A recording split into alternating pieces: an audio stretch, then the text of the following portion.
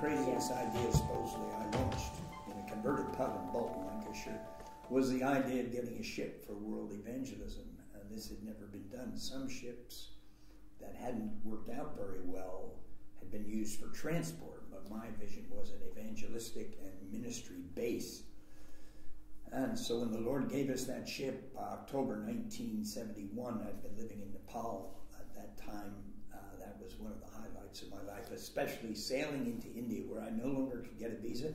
Sailing into India on the ship, being able to visit the ports of India, meeting up with all my old friends, and of course preaching the, the gospel in India, which became our biggest field. So let me get my head around this. You're sitting with some friends in Bolton, in the north of England, and you say, I, I want to get a ship. How are you going to get people to sail it? How are you going to make it work? And I, I believe it took a few years. Did you really think you could pull it off? And how did your faith stand at that time? I think I had greater faith in those days than now as an old uh, guy with all my uh, sometimes skepticism and cynicism that tries to come into my life.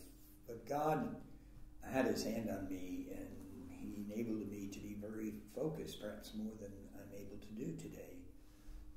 And initially we just talked about this, but one man, a Birmingham man, Alan Redpath, many people would know him. He's been with Jesus a long time, one of the few older people that actually joined OM. He had been a communist and in the merchant navy. And so when I just threw this idea out, it wasn't in a super dogmatic way. We were talking. He grabbed it more than me and then encouraged me.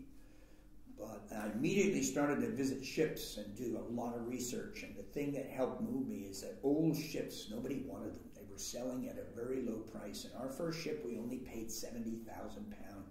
120 people lived on a ship, including all my family. Uh, and we paid only 70,000 pounds to buy it. So it, it, it, fit into where OM was at that time. We had hundreds of vehicles, by the way, crisscrossing the whole world by that time. George, take me to that day, the first uh, day you sailed out, the maiden voyage. Do you remember how you felt and how did you did you praise God together as a ship? What was the feelings you had towards your prayers being answered? Yeah, it was a great time of celebration. We sailed out of London we had been refurbishing this old ship that we purchased in Denmark, in Rotterdam. My wife and I and family of uh, three children. We were already living on the ship. We already had lots of problems. The chief engineer and the captain were not getting on. Running out of money.